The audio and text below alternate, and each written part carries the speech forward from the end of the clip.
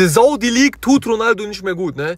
Ich mag den, aber mittlerweile ist einer zu viel. Wir haben gestern gegen Al-Hilal gespielt, der hat schon sowieso Kabelbrand, weil der jedes Mal gefühlt gegen die leider verliert. Dann kam da dieser NPC, der schon mal Welle gegen Ronaldo gemacht hat, auch Welle gegen Messi bei der WM. Und dann sind die Sicherungen durchgebrannt bei Cristiano. Nicht nur hier kam der Schiedsrichter zu Cristiano, hat den Rot gegeben, der wollte noch irgendwas umdrehen. Guck mal hier. der wollte einfach Schwinger werden und hier ist er noch am Ende, glaube ich, persönlich gewonnen. Da kommen hier langsam viel zu viel zusammen. Diese Sonne da drüben tut den, glaube ich, nicht gut.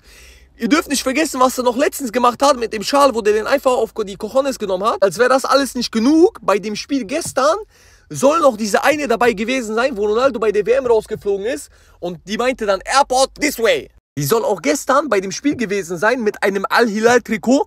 Ich sag's euch, Ronaldo kriegt auch bald wegen der grüne Haare, ne? Problem ist, hier kann man das nicht ganz nachvollziehen. Das hätte auch ein älteres Foto gewesen sein können mit dem Trikot. Aber eins kann ich euch sagen, portugiesische Liga wäre, glaube ich, das richtige für ihn. Oder irgendwo anders noch angreifen, würde besser kommen als